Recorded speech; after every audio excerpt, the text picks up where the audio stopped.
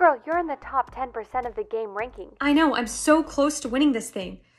But the thought of killing someone literally makes me want to vomit. But the thought of $1 million? Does make it sound a little better. Who are you going to kill? And when? Are you gonna do it soon? Yeah, but it's time for me to go. I'll tell you later. Is it just me or is that car coming at me suspiciously fast? I think they're trying to rear end me. Must be their target. I think I lost him. Ooh. That wasn't, uh. I killed them? Congratulations, you have won $1 million. Yay.